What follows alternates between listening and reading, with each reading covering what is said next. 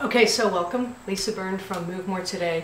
What I wanted to do today was, um, I'm actually making a, a, remake of a video I did about three years ago, and I called it Standing 100s, and what it was was 100 body weight moves that you can do, you know, if you've been sitting, if you're waiting around, uh, anything very simple. You don't need anything in your hands, it's just really you and your body weight.